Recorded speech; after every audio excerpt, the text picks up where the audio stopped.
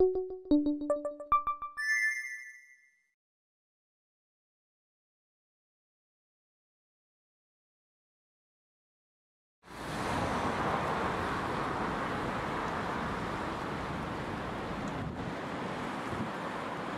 のドリームプロジェクトはあのスポンサーにご支援いただいて、えー、それで1試合あたり90人前後の子どもたちを招待するという形で、えー、震災後から続けているんですけどもだんだん被災地支援も細ってきている中で、えー、被災地のクラブとして被災地の子どもたちを招待すれば喜んでもらえるんじゃないか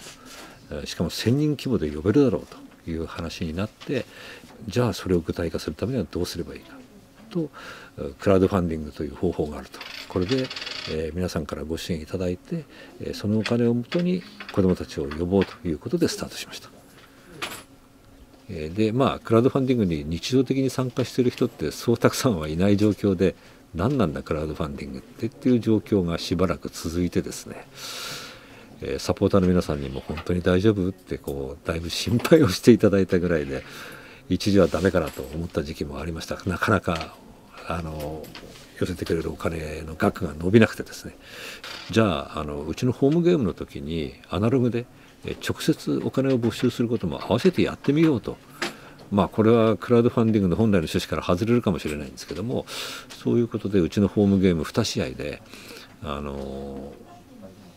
お客さんに寄付を呼びかけたらこれがすごい反響で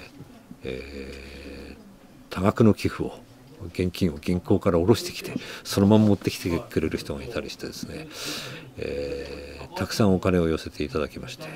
でそれをホームページで報告してこんだけ伸びましたっていう形になったらそれがまあ相乗効果みたいな形で今度逆にネットの方も急に伸び出してですねそこから一気に軌道に乗ったと目標額どころか最終的には750万近くまで、えー、伸びたということで本当に皆さんには助けていただきました。まあ、あの全国の J クラブのサポーターの皆さんもうちのホームゲームの時にわざわざお金を持ってきてくれたりあとはあのカード決済で本当に全国の皆さんからご支援いただいたんであこうやってあの呼びかけさえ皆さんに届けば全国の皆さんが被災地支援に対して思いを寄せてくれてるんだなというふうに改めて思いました。やはりあの年齢層の高い人とかそれから多額の寄付をされる方は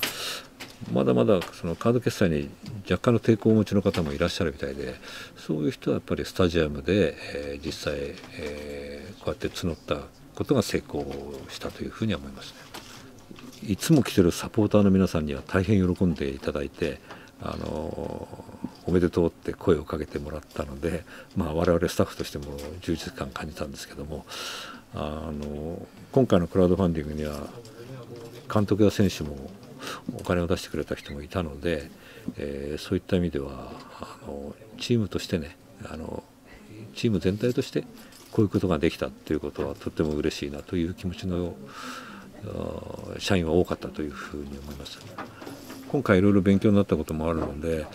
えー、来年以降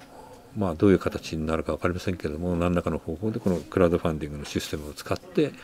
えー、新たな貢献策というかですね、え地域のためになるようなことを我々もやっていければいいなというふうに思っています。